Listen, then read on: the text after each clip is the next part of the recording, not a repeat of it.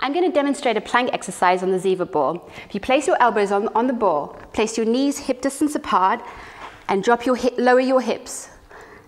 To advance this exercise, you can tuck your toes underneath and extend your legs out and hold this position